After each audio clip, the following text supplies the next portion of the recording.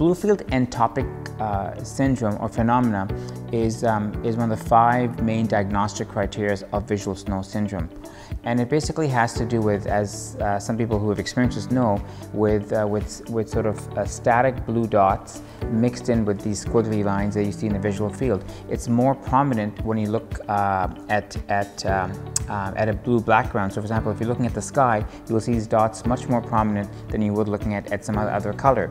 And it's really to do with, with uh, white blood cells moving in your capillaries combined with red blood cells to create this sort of image uh, as a retina looks through these capillaries with these white blood cells.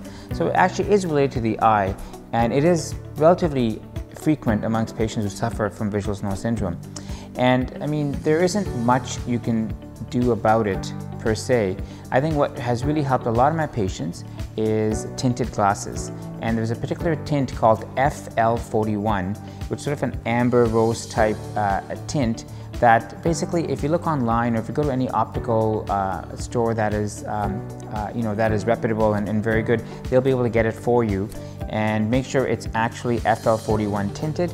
And that has helped a lot of people with not just people who've, suffered from migraines people who've suffered from photophobia which is also another diagnostic criteria of visual snow syndrome you know photophobia is basically extreme light sensitivity and so uh, I think that not everybody, but a lot of patients have been helped. And I really think that patients with visual snow syndrome should try FL41 tinted lenses uh, to see if it makes a difference or not, because I do think that in a lot of people it has made a difference in, in decreasing the symptoms.